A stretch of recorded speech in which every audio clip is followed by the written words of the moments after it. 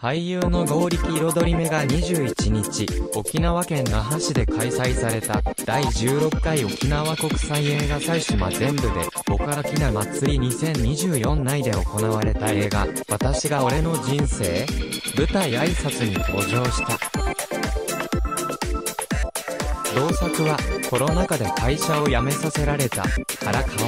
織、剛力が、隣人の中山大輔、尾上博之と衝突したことで、体が入れ替わってしまう。元に戻る方法を探す二人だが、一時的にお互いのふりをして生活を送ることになる。